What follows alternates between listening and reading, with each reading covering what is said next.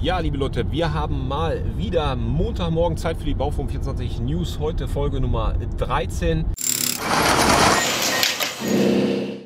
Und wie man unschwer erkennen kann, wir sind hier unterwegs auf der A49, glaube ich. Wir sind unterwegs zur Steinexpo. Jetzt würdet ihr euch wahrscheinlich fragen, Moment mal, Steinexpo, war das nicht irgendwo so äh, Mitte September? Äh, Blödsinn, Mitte September ist die Nordbau. Jetzt werdet ihr euch fragen, Moment mal, Steinexpo, äh, ist das nicht Ende des Monats? Korrekt, ist Ende des Monats. Aber wir sind da ja so ein bisschen involviert, äh, haben da ja auch einen eigenen Stand, äh, berichten ja für euch vor Ort. Der Max macht übrigens Autogrammstunde. Wir haben jetzt äh, Autogrammkarten für, für Max drucken lassen. Erstmal nur 50er Auflage. Wir wollen mal gucken, ob das sich durchsetzen wird. Auf jeden Fall müssen wir da heute mal ein bisschen uns umgucken auf der Steinexpo in dem Steinbruch. Nehmen wir euch mit, zeigen wir euch gleich mal. Ich weiß selber noch gar nicht, äh, was da so alles äh, los ist derzeit, aber ich denke, da sind schon einige Maschinen zu sehen. Und dann müssen wir weiter ähm, zu Volvo. Und bei Volvo sind wir eingeladen und gucken uns heute und morgen den ersten vollelektrischen Bagger an. Zumindest sagt Volvo, erster vollelektrischer Bagger. Gab es bei uns auf Facebook eine Meldung und äh, fragen sofort die Leute, ja Moment mal, voll elektrisch, was haben dann die Hydraulikzylinder da zu suchen? Habe ich mich in dem Moment ganz ehrlich auch gefragt. Der Sache werde ich auf den Grund gehen. Was haben wir noch? Dann haben wir heute noch äh, zwei Gewinner, nämlich für den feinen Akkuschrauber. Der wird heute verlost und dann habe ich natürlich noch ein kleines Giveaway, einen äh, kleinen Forstner-Bohrer. So klein ist der glaube ich gar nicht. Ich glaube ein 35er. Und äh, ja, was gibt es sonst noch, Max? Fällt dir noch was ein? Äh, so spontan gerade nicht. Wie war dein Wochenende? Mein Wochenende war sehr entspannt. Ja. Ja. Ich bin ja gerade aus dem Urlaub wiedergekommen. Aber ich hatte noch nie einen Urlaub, in dem ich eigentlich nur gearbeitet hatte. Also von daher, äh, ich würde sagen, wir haben noch, ein bisschen haben wir noch. Äh, ich würde sagen, wir geben Gas und melden uns gleich. So, wie heißt das schöne Örtchen hier? Niederoffleiden. Da vorne sieht man auch schon MHI, das heißt glaube ich Mitteldeutsche Hartsteinindustrie. Und so habe ich mir mal sagen lassen, der Steinbruch ist Europas größter Basaltsteinbruch. Schauen wir mal, wen wir da heute so alles treffen. So, neben mir ist Friedhelm Reese. Friedhelm, du bist ja der Chef der Steinexpo, ne? quasi auch der Gründer, glaube ich, oder? Du bist der Initiator. Nein, der Gründer bin ich nicht, das war mein Vorgänger im Amt. Ich bin aber seit 1993 dabei und seit 1999 verantwortlicher Messeleiter. Okay, aber ich denke, wir können wohl sagen, ohne dich gäbe es die Steinexpo nicht mehr, oder? Das glaube ich schon. Das kann man nämlich glaube wohl so sagen, würde ich, würde ich behaupten. Und ich kenne den Friedhelm schon einige Jahre. Wenn man nämlich jetzt hier mal unterwegs ist, noch bevor die Messe wirklich passiert, dann siehst du mal, was hier wirklich an Action ist. Das ist ja echt Wahnsinn, ne? was hier alles vorbereitet wird, was hier angefahren wird. Und die heiße Phase geht wie lange oder seit wann? Also die heiße Phase, Aufbauphase dauert vier Wochen. Ja, vom ersten Einmessen an mit, äh, mit dem Überlegen, wo müssen wir noch Material fahren, wo kann noch Produktion jetzt auch noch gefahren werden. Wir fahren noch bis Samstag. Ja, geht das insgesamt vier Wochen. Und ähm, ihr habt ja mal diese Demofläche, ne? wo immer Ja. Action ist. Und das, gerade ihr Zuschauer mögt das ja am liebsten, wenn wirklich auch die Maschinen in Bewegung sind. Sieht man auch immer tierisch viele äh, Leute, die mit Kameras filmen und so weiter. Äh, wo ist das diesmal? Das ist eine Etage weiter hier unten. Da haben wir Ja. auch eine Wo kann große- man das von hier aus sehen? Ja, können wir mal rübergehen. Das ist noch die Demofläche. Ja. Was? Ähm, Wir haben speziell eine Tribüne dafür gebaut, dass die Leute hier über diese Rampe runtergehen können, direkt auf die Tribüne gehen können und dann runter über diese Treppe an die Maschinen ran. Hier vorne an der Wand werden vier Haufwerke eingerichtet. Äh, Drei davon werden moderiert, wo die Maschinen dann in dem festen Timetable zusammenarbeiten. Und äh, das Ganze wird wie immer moderiert von Paul Herrmann. Ich hatte bei der letzten Steinexpo so das Gefühl, das war relativ beengt irgendwie. Ne? Ich glaube, da habt ihr auch so ein bisschen Feedback von den Ausstellern bekommen, die sagten, die wollten ein bisschen mehr Platz. Die Tribüne gab es damals nicht, oder? Nein, das ist vollkommen richtig. Wir haben beim letzten Mal auf der anderen Seite in der Tiefsohle die Demos gehabt und das war sehr eng. Mit den Riesenmaschinen war es wirklich sehr eng und Für äh, wie viele Leute ist die Bühne äh, ausgelegt? für 250 Leute. Äh, ziemlich aufwendige äh, Konstruktion aus Stahlbau und so weiter. Ja. Und äh, wie gesagt, dann arbeiten die Maschinen. Wir haben während der vier Tage äh, genau 101 Demonstra Demonstrationen, die laufen. Ja. Ja. Also mehr denn je.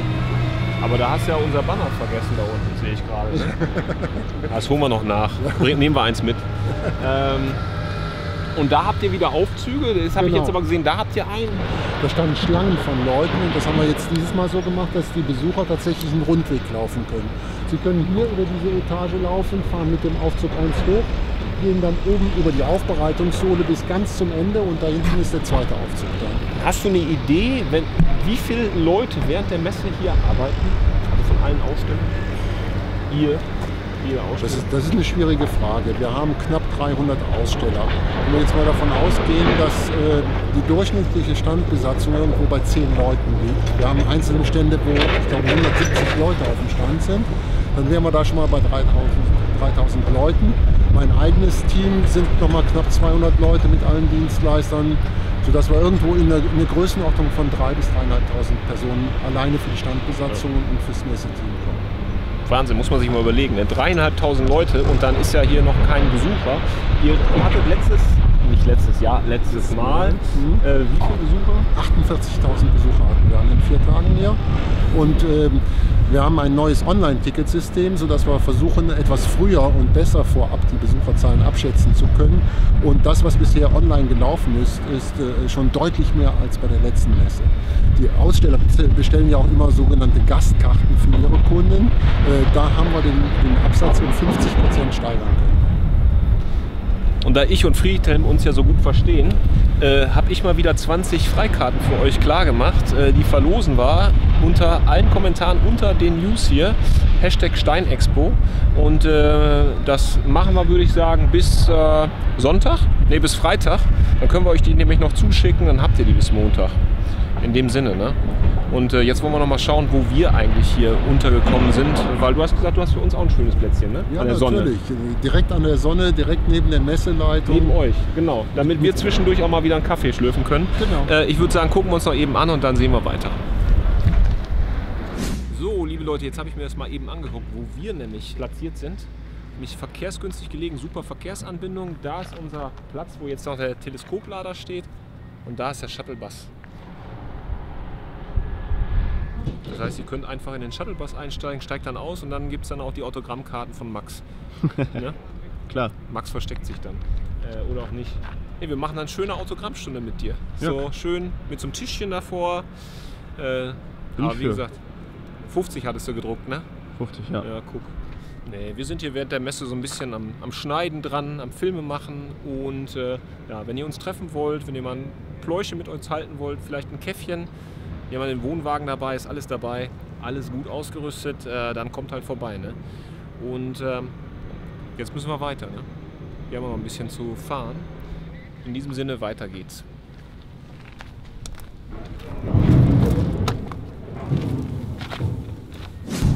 Ja, liebe Leute, und weiter geht's. Ähm, jetzt unterwegs nach wo sind wir? Trier, ne? Genau, Mhm. Trier. Und wir haben noch ein paar Sachen zu erklären, ein paar Sachen auf der Liste. Erstmal das Thema, die Webserie mit äh, JP. Heute ist eine weitere Folge online gegangen, solltet ihr euch nochmal anschauen und natürlich auch alle anderen. Äh, hat uns natürlich großen Spaß gemacht und ihr dürft euch da auch noch auf das ein oder andere freuen. Aber die erste Staffel ist jetzt heute erstmal ähm, die letzte Folge gewesen und weiter geht es halt auf der Steinexpo. Dann, wo wir gerade äh, bei JP sind, wir haben ja die Freiflugaktion mit dem Zeppelin, zusammen mit Zeppelin. Da gibt es ja noch einen Platz und wir haben, oder es gibt zwei Plätze, äh, bei dem ihr mitfliegen könnt, quasi mit JP seinen Geburtstag im Zeppelin feiern. Äh, Ich bin übrigens auch dabei, also ihr könnt auch mit mir feiern. Ich habe allerdings nicht Geburtstag, ich hatte schon. Und ähm, da gibt es ja einmal das YouTube-Video, verlinken wir euch gerade nochmal oben. Und äh, wir haben noch ein kleines Bonbon. Wir haben nämlich noch eine Aktion auf Facebook gestartet und das Video haben wir jetzt auch online. Müsst ihr gucken, teilen, kommentieren und unter allen Teilnehmern suchen wir uns einen aus, der dann mit uns mitfliegt. Und wie gesagt, das wird richtig cool. Ähm, die erste Etappe ist ja vom Bodensee nach Mülheim an der Ruhr.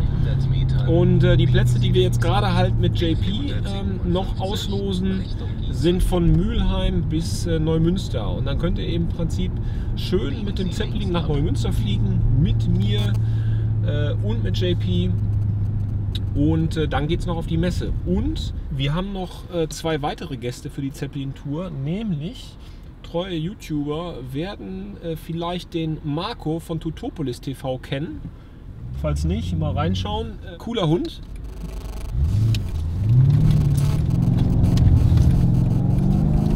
Und Marco wird äh, an beiden Tagen mein Gast sein. Und dann haben wir noch einen Gast, den auch viele von euch kennen werden. Äh, am ersten Tag, nämlich der Jan von Ausfahrt TV. Ähm, den habe ich nämlich gefragt, ob er nicht Lust hat mitzukommen. Und er sagt da, klar André, habe ich richtig Bock drauf, weil Zeppelin-Flug über Deutschland, wann hast du das mal? Wie gesagt, kein Rundflug. Und wir werden die Zeit nutzen, äh, eine schöne Zeit zu haben da oben. Äh, wir werden ein paar Interviews äh, miteinander machen, wir werden quatschen, wir werden das alles drehen, wir werden euch ein paar Geschichten erzählen können. Äh, denn wenn einer eine Reise tut, dann kann er ja was erleben und im Zeppelin ist das Ganze nochmal eine ganz andere Liga.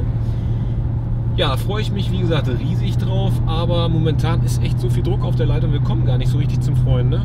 Jetzt eben Stein Expo ist natürlich echt ein ganz schönes Brett. Ja, das stimmt schon. Du hast das ja jetzt zum ersten Mal gesehen. Ja, sieht ziemlich cool aus. Äh, macht auch richtig Spaß. Also an alle, die auch vielleicht gar nicht aus der Branche kommen, aber mal Bock haben, wirklich äh, solche krassen Baumaschinen in Aktion zu sehen, in einem Steinbruch, kommt vorbei, da kann jeder hinkommen. Das ist also keine reine, es ist natürlich eine Fachmesse, aber nicht ausschließlich für Fachpublikum. Ich glaube, Eintritt ist auch überschaubar. Wie gesagt, ich habe ja gesagt, äh, Karten könnt ihr eh gewinnen hier in den News. Und ja, das äh, liegt an.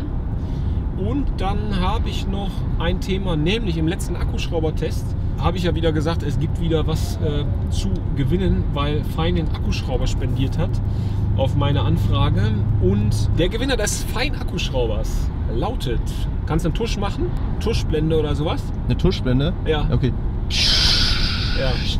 Äh, Michael Saringer, du hast den Fein ASCM 12QX, heißt er, glaube ich. Das ist jetzt wirklich aus dem Kopf. Das ist aber ein Zungenbrecher. War ein Zungenbrecher, ne? Du hast den äh, Schrauber. Der Schrauber geht an dich. Meld dich, äh, schreib uns an die Redaktion. Äh, dann geht das Ding raus an dich. Und dann haben wir noch einen ähm, Pharmac Bormax 2.0, diesen neuen 35 mm. Schönes Werkzeug. Äh, der geht an den Zuschauer der Schotte. Auch du kannst dich also freuen. Das gleiche gilt für dich. Schreib uns eine Mail an die Redaktion. Und in der letzten News hatte ich es noch gesagt, vielleicht ist es untergegangen, wir haben neue Sticker. Wer einen Sticker von uns möchte, schreibt uns bitte eine Mail, dann schicken wir euch einen Sticker.